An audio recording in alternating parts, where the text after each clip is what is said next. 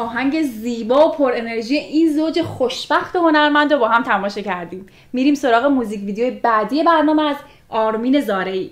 آرمین زارعی با اسم هنری آرمین 2AFM متولد اردیبهشت 1365 در سبزواره آرمین کار هنری خودش رو با سه تا دیگه از دوستاش شروع کرد. به اسمای علی، فرهاد و مهداد.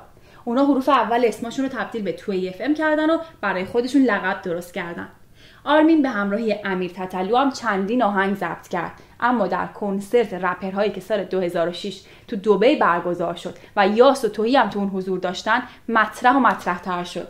بیشتر آهنگای آرمین حالت اعتراضی و طعنه کنایه داره. موزیک ویدیو شماره 3 از آرمین 2AFM به اسم دمش گرم شعر و موزیک از آرمین با تنظیم مسعود جهانی. بریم و برگردیم.